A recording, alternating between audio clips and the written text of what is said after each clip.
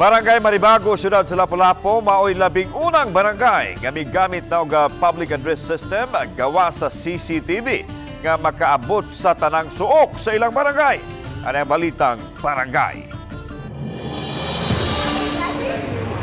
Kini ang Barangay Maribago Command Center nga nagsilbing buhatan sa Maribago Emergency Rescue Unit kun mero. Sa miaging Abril lang giinagurahan ang CCTV ug ang public access system sa barangay. Gihulagway ni Konsehal Arvin Fiel Abing pangu sa mero nga adunay 35 ka mga CCTV ang barangay diin makita ang kalihukan sa labing mga importanteng dapit sa ilang barangay. Pinaagi usab sa public address system o PA system, masayon usab nga mapahibaw ang mga kalihukan sa ilang dapit.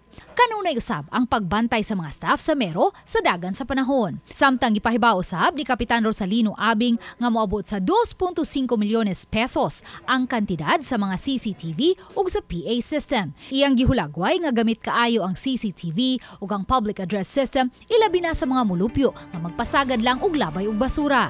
pinaka-corner gid kayo gibutangan namo like ah, for example kanang sagad problema sa basura nga makita man na sa kuan makita man na sa monitoring.